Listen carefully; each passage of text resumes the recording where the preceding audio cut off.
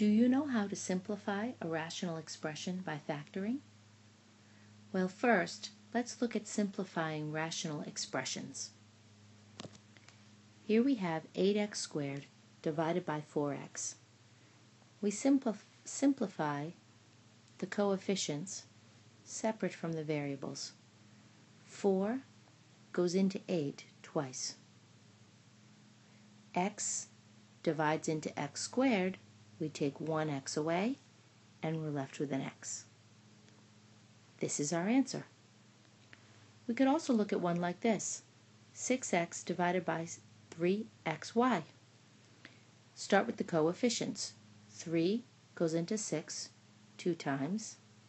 x and x cancel, but we're left with y in the denominator. So our answer is 2y. Now let's look at simplifying rational expressions where we need to use factoring. x squared plus 5x plus 6 divided by 2x minus 2. Now to work with this rational expression, we have to factor the numerator and the denominator. We can factor the numerator into two binomials. x squared becomes x and x, and now we need a term that adds together to equal this and multiplies together to equal this. We can add plus 2 plus 3 in our numerator. And when we when we use FOIL to multiply these two binomials, we will end up with this. Now in the in the denominator, we can factor out the greatest common factor of 2 from both of these terms, and we end up with x minus 2. This is the simplified version of this rational expression. We used factoring to simplify it. Let's look at another one.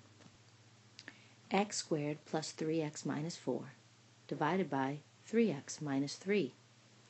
Again, we can factor the numerator into two binomials.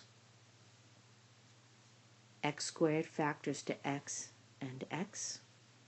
And then we can factor again to find two terms that add together to equal this and multiply together to equal this. So we have minus 1 plus 4 in our numerator. Now in the denominator, we can't factor that into two binomials, but we can take out the greatest common factor of 3, which leaves us with x minus 1. Now look, there are two common binomials in the numerator and the denominator. Just like when you had this in a rational expression, you could simplify it we can simplify these two binomials. That leaves us with an answer of x plus 4 divided by 3. This is the simplified version of the rational expression. Let's look at one more. Here we have x squared plus x minus 12 divided by 8x plus 32. We can factor the numerator into two binomials and we have x and x. We want two terms that add together to give us a 1 and multiply together to give us a negative 12. So that would mean that we have a positive 4 and a negative 3 here. In the denominator, we can factor out the greatest common factor of 8, and we're left with x plus 4.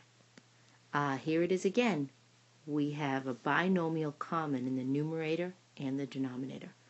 We simplify those and we're left with x minus 3 over 8. This is our final answer and our work is complete.